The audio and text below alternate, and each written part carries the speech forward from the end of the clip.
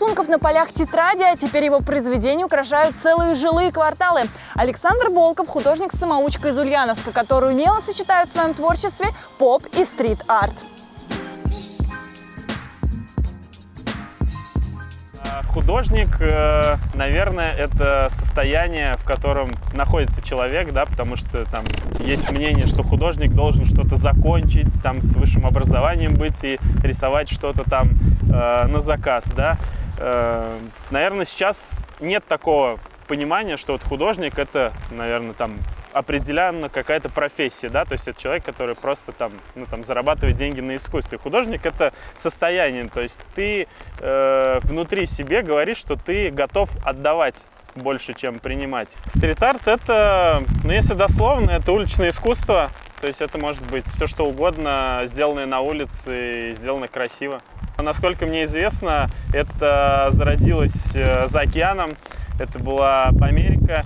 Если говорить про Эми Бэнкси, это скорее такой стал человек, который олицетворяет сейчас э, и поднял на новый уровень э, эту тему в искусстве. И вообще э, стрит-арт стал считаться искусством как раз-таки, ну, наверное, благодаря именно ему, именно художнику Бэнкси. Он сам из Лондона. Вот. Вообще уличное искусство, оно э, очень долгое время являлось нелегальным. И если говорить про искусство классическое, вот откуда оно становилось, его недра, история. Это просто надписи, теги на всевозможных неблагополучных районах. Так райтеры, как их называют, э, говорили о себе. Чем чаще, чем опаснее, чем больше э, твой тег, тем ты круче, тем тебя больше знают на улицах и так далее. Но дальше все стало усложняться, начали появляться рисунки и так далее. И очень круто, что вот сама вот эта вот ветка искусства стала преобразовываться э, и выходить на другой уровень. То есть она стала интегрироваться в городскую среду.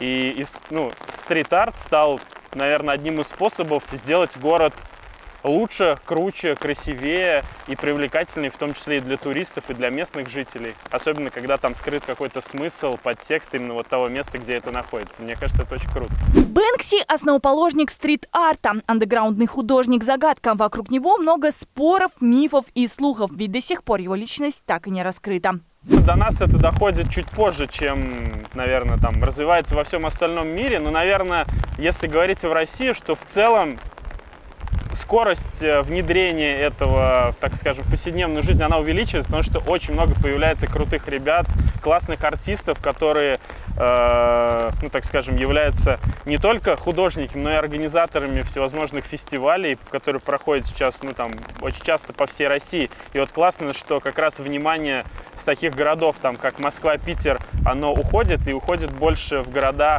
ну, так скажем, ну, более с меньшим населением. Если говорить про таких лидеров э, вот этой отрасли, то это, наверное, примером для всей России будет являться там, как ее называют, столица стрит-арта, это Екатеринбург. Саш, давай поговорим все-таки, чем же отличается стрит-арт от поп-арта. И вот это вот произведение, это типа мурализма, раз, разграничь для меня, для наших зрителей, где-то тонкая грань, насколько знаю, там еще подвиды вообще какие-то существуют. Да, их на самом деле огромное множество. Если говорить про стрит-арт, то это, наверное, все, что делается на улице, за исключением э, таких олдскульных тегов и надписей. Это все-таки больше граффити-арт. А поп-арт, ну, это направление в искусстве, которое там зародилось, э, если не ошибаюсь, в 70-х, и там такие легенды, там, как Энди Уорхол, там, яркие цвета, популярные образы и так далее. То есть это вот про это. То есть это, это такой это, было. вот. Это больше про современное искусство, а все-таки стрит-арт это просто как, ну, так скажем, большой пласт направления. А, и уже на улице ты можешь сделать картинку уже в каком-то художественном стиле, в другом. Вот. да, давай поговорим про картинки. Просто вспоминаем мое детство, да, скажем так, лет 15. А, для меня стрит-арт — это картинки аниме на каких-нибудь заброшенных заборах или стройках. Вот современный стрит-арт, он какой? Он эволюционирует, то есть произведения становятся какими-то более глубокими, возможно. Ну, мне кажется, современный стрит-арт — это определенный посыл, и это, ну, так скажем, слияние с э, городом. Ну, то есть, когда мы видим, что это не просто какая-то надпись, которая режет глаз, или какая-то картинка, которая всех бесит, она не вписывается никак в район, например, да, то есть это что-то, что дополняет наоборот. Ну, то есть мне кажется, что современный стрит-арт, он сейчас как раз-таки в это направлении движется. Но также стрит-арт это, ну, мы говорим о нем как все-таки о нелегальном искусстве, да, э, в большей степени он зарождался именно так. Поэтому стрит-арт это еще и часто какой-то э, вызов, да, то есть это какая-то надпись, это настроение людей, это что-то вызывающее, э, чувства иногда не всегда позитивные. Вот. Ну, то есть стрит-арт это высказывание. Вот, к слову о нелегальности, да, ты говорил, очень часто за граффити можно получить административный штраф, либо прям уголовную ответственность. То есть где эта грань? Получается, ты должен получить какое-то разрешение на этот рисунок, то есть где творить вот этим ребятам, стрит-арщикам, где их полотна, скажем так. То есть как не переступить эту грань, да, вот об этом. Угу. Ну тут все просто. На самом деле, если ты делаешь что-то, если ты не Бэнкси и ты делаешь что-то на улице, ни с кем не согласовав, скорее всего, ты будешь наказан за это, потому что это, ну, э, это закон который действует там не только у нас там в стране, да, но и в большинстве там странах. Вот, если говорить про историю легальную, да, многие там современные художники работают и с администрациями города, и с коммерческими организациями, которые планируют у себя что-то нарисовать. То есть это такая отдельная история, так скажем, больше художественная, легальная и так далее. Если говорить про стрит-арт как вот э, нелегальное э, искусство, да, то это всегда недолговечно, да, то есть любая какая бы ни была картинка, ну, то есть каждый стрит-арт художник, именно вот классический стрит-арт художник, он в принципе, когда делает что-то нелегальное, он понимает, что это не будет жить вечно.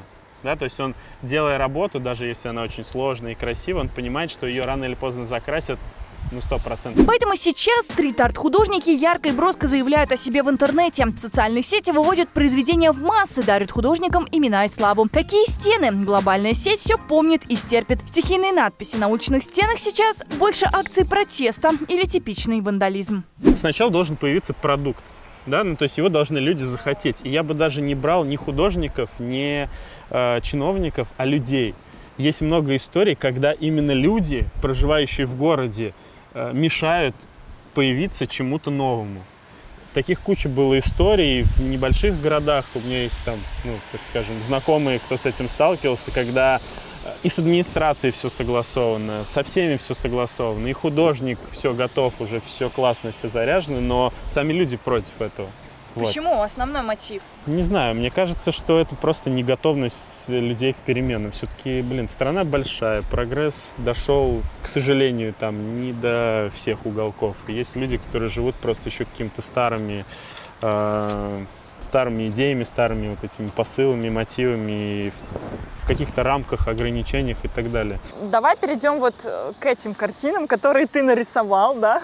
У тебя их здесь две. А, расскажи вообще, что это, откуда зародилась идея? Это возвращаясь к вопросу, то ли жители сами обратились, да, то ли это какое-то поступление администрации. Я знаю, что вы днями и ночами тут рисовали, чуть ли не 30 литров краски на это все потратили. Расскажи, как создавались эти шедевры вообще?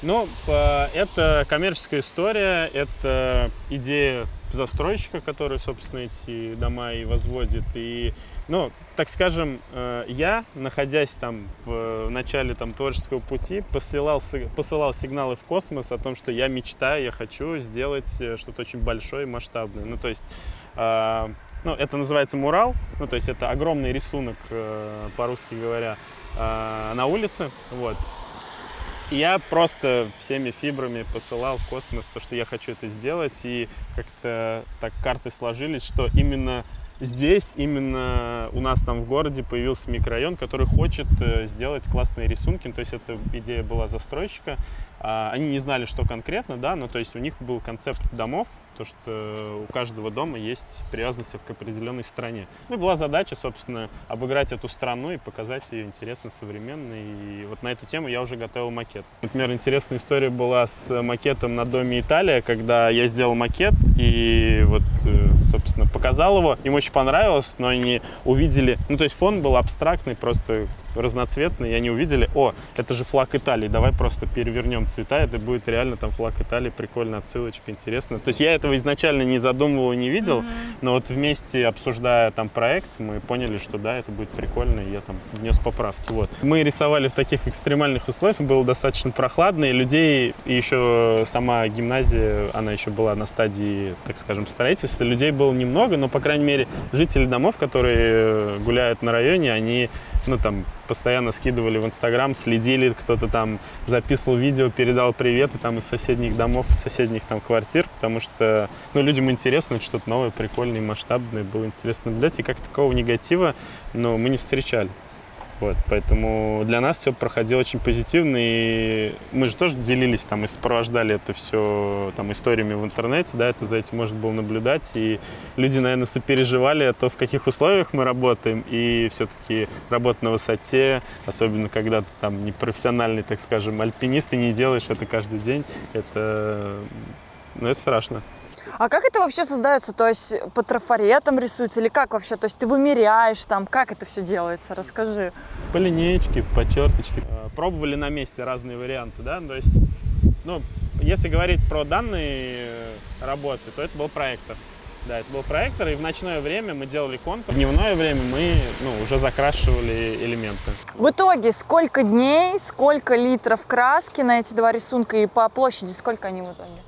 А, если вот не соврать, уже плохо помню, но около 200 квадратных метров, потому что рисунки примерно одинаковые, э, по квадратуре вышло около 40 литров краски на каждый из рисунков. И если говорить по дням, то первый, с учетом того, что были дни, когда прям шел очень сильный дождь, и мы прям стопорили работу занял где-то 5 или 6 дней, этот, если не ошибаюсь, 4 или 5 дней. То есть это чуть побыстрее уже пошел, но мы все-таки руку уже набили на опыте.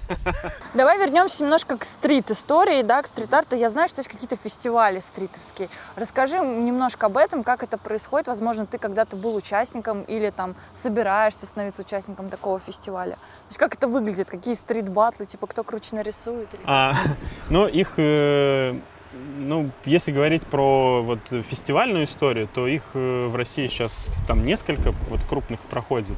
И как это происходит, просто объявляется реклама, да, ты ее видишь везде. Если ты как-то связан с темой, либо тебе нравится, либо ты там на кого-то подписан, да, то есть тебе по-любому это попадет на глаза. То есть если ты в теме искусства, то есть оно просто будет мелькать постоянно, да, то есть это обычно призывы, кидайте заявки до какого числа, принимаем, вот, и вот организаторы, которые это все дело организовывают, э, это, как правило, либо художники, уже такие, скажем, со стажем, да, либо люди, которые являются там либо кураторами выставок, либо в этой теме, короче, завязаны, они отбирают просто художников, и все. И после того, как они выбрали художников, они едут и бабахают просто свои картинки. Про баты какие-то мини-истории, ну их мало, но в целом администрация, они во многих городах, они э, ставят такие, скажем, бетонные щиты, как для граффити, чтобы mm-hmm. люди не нарисовали там на заборах э, и не портили там, там здания и так далее, какие-то городское имущество, в общем, вот, они ставят такие стендики, бетонные плиты, где можно, такие ми- мини-фестивальчики, да, однодневные, где можно порисовать, вот. В сентябре стрит-арт-волна накрыла и наш город. Фестиваль «Контур» дал свободу творчества местным художникам, а также мастерам из Казани, Пензы, Сочи и даже Витебска. Рисовали на специальных полотнах в виде фанерных кубов и фасадах жилых домов. Теперь в Ульяновске и Димитровграде на несколько серых и скучных зданий стало меньше. Немножко нас окуни в свою начальную деятельность так. Ну, флэшбэки, флэшбэки. Я понял. Флэшбэки, они такие обрывистые, но тем не менее, если говорить о том, что мне захотелось, в принципе, этим заниматься, наверное, это было всегда. Да, то есть еще из детства я там пробовал что-то делать, рисовать. Э, был момент, когда там, в младших классах я делал себе игрушки самостоятельно из картона, вырезал там футболистов человеческих и их раскрашивал так, что они были похожи там на настоящих, ими играл, и как бы у меня поэтому было море игрушек самодельных, вот, и, и я никак себя в этом плане не ограничивал. В итоге какие-то зарисовки делал карандашом там и так далее, но в итоге это все не превращалось в что-то, ну, в какое-то постоянное занятие. Скорее всего, это было такое развлечение, баловство, досуг, наверное. 27 лет э, мне подарили э, картину по номерам на день рождения друзья, и я ее но она мне так понравилась. Там была картина французской художники Франсуаза Ниели. Она рисует шпателем, она очень известна в мире. Ну, такая взрослая женщина уже. Такие у нее яркие, очень красивые портреты получаются. И я ее сделал, потому что я как раз занимался ремонтом в собственной квартире и хотел ее украсить. Собственно, цель была такова изначально. После того, как я сделал эту картину по номерам, я понял, что, блин, красочки еще остались. Э, думаю, блин, я же могу и без номеров. И вот таким образом началось... Э, я начал пробовать. Ну, то есть я начал вспоминать, я понял, что это то, что мне нравится. Да, если говорить стилистически, там на меня повлияли, естественно, большинство там иностранных художников. Тяжело рисовать на коммерцию, то есть где заканчивается творчество художника как порыв и начинается коммерция, скажем так.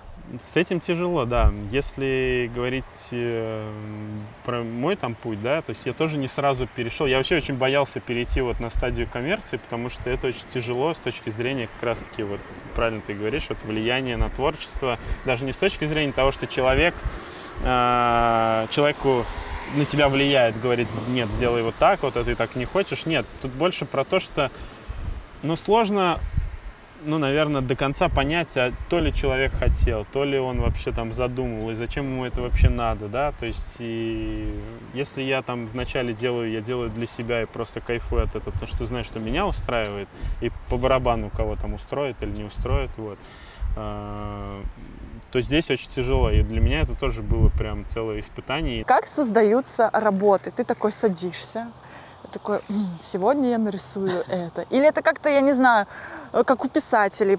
Приснился сон, написала книгу. Вот как это, вот этот процесс, откуда ты черпаешь вдохновение?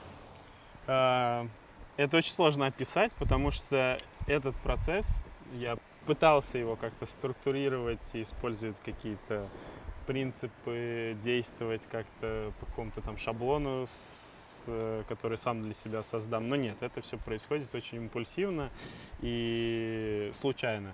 Если говорить про, когда я готовлюсь к каким-то конкретным вещам, конкретной выставке, я придумываю тему, я придумываю, что будет, какие будут примерно работы, и дальше уже это процесс э, по настроению, ну как это, как вот не хочется мне говорить, что очень зависит от вдохновения, но все-таки, наверное, в моем случае так и есть, да, когда посещает меня муза, стучится говорит, братан, все, садись, пора, я пришла, иначе другого шанса у тебя не будет. И я это делаю. Иногда бывает, что просто не прет, и вот все, что бы я не делал, я просто на следующий день прихожу, закрашиваю, э, люди не дадут соврать, и просто уничтожаю эту работу, и ее больше никто никогда не видит. И на ней появляется следующая, которая сверху нарисованы. Вот, поэтому там, в моих картинах очень много закрашенных других картин, которые, к сожалению, никто никогда не видит. Ну, точнее, в моем случае, наверное, к счастью. Вот. Поэтому в целом это такой сложный процесс, э, немножко вдохновения, немножко собственной усидчивости. Я очень долго, бывает, там смотрю на холст, э, концентрируюсь, о чем-то думаю, вспоминаю какие-то элементы. Интернет, естественно, в помощь, в помощь, когда я для вдохновения листаю даже работы художников, вот, которые мне нравятся. Да? А можно так сидеть в туалете и пришло вдохновение? Ты такой, блин, сейчас побегу рисовать. Серьезно? Бывает, бывает, бывает такое, да. И в ванной, и в душе, и где угодно. Но, как правило, это все летит в заметку, потому что сам процесс, то есть, ну, у меня не получается сразу там побежать и что-то нарисовать, потому что все-таки это краски. Я очень часто рисую без, э, так скажем, без подготовки с точки зрения набросков, да, то есть я делаю сразу красками по холсту. Тему авторского права. Так. Столкнулся ли ты уже с такой проблемой, что, возможно, ты такой листаешь интернетик и хоп, блин, идентично моя картина. То есть вообще как бороться даже с современным молодым художником вот с этим автором? Насколько тонкая грань? Потому что, ну, мне кажется, это в принципе не отслеживается у нас в стране по творчеству. Это очень тяжело вот так. У вот. нас, я бы так сказал, не, не только по творчеству это не отслеживается. В принципе, во всех сферах, наверное, это мало отслеживается э, у нас в России. Но если говорить про творчество, то, наверное, здесь творчество это такая больше штука. Если ты берешь что-то и повторяешь, и говоришь, это мое, люди это увидят, люди скажут, что это плохо, сказать, ну это не зайдет, да. Если ты берешь что-то и добавляешь что-то свое, как это модно говорить в искусстве, переосмысляешь, mm-hmm. это может быть совершенно круто, потому что из поколения в поколение а я все-таки читал книжку про искусство, там а, прослеживается, как одно поколение художников все время копирует предыдущее поколение, при этом делает это каждый раз по-своему. У тебя же были уже выставки в Ульяновске, да? Ну да, были несколько выставок. Ну, не сказать, что это было что-то такое, как сказать, э, персональное, да, но э, самая первая выставка моя была там, э, она была просто на фестивале э, искусств, ой, искусство, город мастеров, в общем, фестиваль, где просто рукоделы города выставляют там свои там, Да, ну, короче, я там как видела ярмарка. твою работу. Да, да, да, вот, собственно, да, там я был первый раз, когда все там творческие люди города там что-то выставляют, показывают свои поделки, и у меня было там предложение, собственно, показать там свои картины, вот, потому что они там понравились организаторам, и с этого все началось. Вот именно там огромное количество людей, с которыми я познакомился. В принципе, вот начался вот первый фидбэк, первые запросы о том, что продается, не продается, да, и так далее. Потом была выставка, если не ошибаюсь, в Ульяновском педагогическом университете небольшая, да, то есть тоже предложили сделать совместную там выставку с одним из фотографов наших ульяновских. Вот. Потом еще было несколько таких мероприятий, даже не связанных, наверное, больше с искусством, а в целом такие просто э, городские события. Одно из них это был фестиваль британской музыки и симбирский стиль. В сентябре Саша поучаствовал в международном интерактивном фестивале современного искусства Art Life Fest 2020. На одной площадке свои работы представили художники из 22 стран. Место действия – Москва. Ты как-то сказал, что Ульяновск можно сделать красивым, но уехал в Москву. Почему? То есть ты решил, что здесь тебе стало тесно? И над чем сейчас работаешь? А, причина банальная. Моя, ну, собственно, невеста родом оттуда, и она меня перетянула, можно сказать, э, туда. Ай-яй-яй, невестка за кадром стоит, кадры, талант у нас забрала. Вот, ну и в целом, если говорить про развитие, наверное, это, ну, как сказать, логично, что возможностей больше, больше вариантов для того, чтобы, ну, то есть сама эта тусовка, сама эта история, арт-фестивалей, которые вот, котором тоже расскажу, в сентябре будет проходить э, крупный арт-фестиваль. Ну, то есть в целом возможностей гораздо больше, естественно, там, да, при этом я не говорю, что я там от Ульяновска трубки не беру, меня там не существует, забудьте меня. Нет, мы поддерживаем связь, постоянно общаемся и с, там, с молодежным центром, ну, то есть обдумываем какие-то будущие проекты, которые, ну, то есть мне интересно, то есть свой э, вклад в город тоже внести, да, то есть несмотря на то, что где я нахожусь, вот, поэтому сегодня я там в Москве, завтра я там еще где-то буду находиться, но, блин, как это ванильно будет сказано, родина-то она, блин, одна, я же не могу от нее убежать. Вот. Ты за то, чтобы обучаться, э, быть художником, или, в принципе, профессия открыта, и любой человек просто... В смысле, ты рождаешься им или становишься? Ну, мне, мне- я не могу ответить на этот вопрос, потому что, наверное, это исходит... Блин, если я хочу, и у меня есть бешеное желание там кем-то стать, ну вот я убежден, что я могу вот этим кем-то стать. Ну, мне кажется, то есть я в этом убежден, я не знаю, откуда это, почему вот эта мысль во мне сидит, что если я чего-то захотел, я могу этим стать. По поводу предрасположенности, возможно. По поводу таланта, ну, вряд ли тоже. Все мы находимся в разных условиях, все мы находимся там в разной среде, и разные, там, разный мир там вокруг нас находится. И тут зависит только от твоего желания. Потому что если ты хочешь э, этому там, ремеслу научиться, да, ты, может, не сможешь, там, я хочу стать классическим художником, но у меня не идет там с карандашом там, или там, с пастелью там, или маслом. Там. Но ты можешь попробовать что-то другое. Если ты решил, что ты хочешь стать художником, да, господи, ты можешь разновидностей куча, ты можешь реализовываться по-другому. Кто-то вообще не рисует и является художниками, которые делают э, перформансы, да, которые устраивают просто какие-то опросы, э, там, какие-то взаимодействия там с людьми и так далее. Они, в принципе, к холсту не притрагиваются, да, то есть, но они тоже художники. Поэтому это такая история, которая зависит от желания самого человека. И мне кажется, что вот если ты чего-то захотел, надо просто это брать и делать. Ну и мой традиционный вопрос. Три главных качества профессионального художника. Короче, работу, блин, не надо бросать. Это не качество, но это нужно быть в здравом уме и трезво оценивать, э, собственно, свои силы и финансовые возможности. Это первое. Второе, безусловно, э, фантазия и свобода мысли. Ну, то есть не нужно себя там как-то ограничивать. То есть это обязательно должен быть постоянный полет вот в голове всевозможных мыслей. Ну и третье, наверное, это, блин, усидчивость, целеустремленность, и нужно готовым, быть готовым пахать. Все, нас уже трое. Наша прекрасная ассистентка. Саш, давай еще знаешь, о чем поговорим? Вот расскажи, чем ты рисуешь и на чем. То есть э, какие холсты выбираешь, где заказываешь, может, у тебя определенные там поставщики есть. И где творишь? У тебя отдельный кабинет для этого? Окей, я понял. Ну смотри, как правило, там картины я делаю все-таки на холсте, да, то есть это ткань, обычно это лен, ну, иногда со смесью немножко хлопка, да, то есть они ну, много где продаются, много где делают под заказ. Материалы, материалы я использую очень разные. Если говорить об основном, это в любом случае краска, да, и, как правило, я использую краски акриловые. Ну, это более современный материал. Э, Классические художники чаще используют масло. Мне больше нравится акрил с точки зрения того, что он быстрее сохнет, там больше, больше палитра, более яркие там цвета. Но помимо акрила там очень много всего там идет в ход. Гелевые ручки, маркеры, карандаши, все, что под рукой. Вот. Э, Аэрозоль, да, светящиеся бывают маркеры, да, то есть еще, ну, короче, все, что вот есть под рукой, все, что может что-то царапать, писать э, и смешивать, я стараюсь это использовать. Насколько важно, чтобы тебя в творческом процессе не отвлекали? Ну, это максимально важно. Отвлекаешь?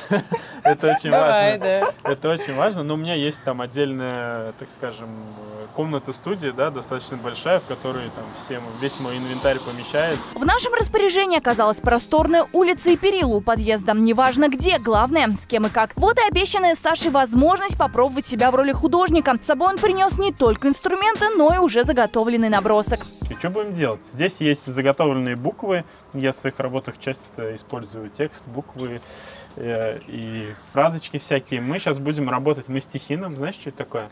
М- Мастихином? Мастихин, да, от Ага. итальянского местичино.